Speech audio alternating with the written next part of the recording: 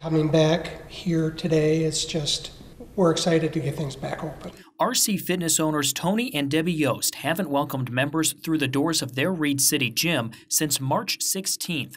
That changed this morning. Okay, We got here early this morning and started cleaning and sanitizing and uh, Yeah. just being prepared for when people start to come in. So it's not going to be an overnight process. I think it's going to take a little bit of time for people to start coming back in because everyone has adopted new lifestyles. In Mount Pleasant, MP Fit Club owner Beth Berge says it will still be a few days before she gets back to indoor classes as she works to collect equipment she's loaned out to members over the last few months. It just felt forever away, and it didn't. I was wondering if it even happened before the first of the year. So, you know, it's really exciting. It's kind of surreal. It's a lot of just preparing and making sure that we do everything right. When indoor fitness classes resume here at MP Fit Club, things like masks and frequent sanitizing will be required, as well as social distancing.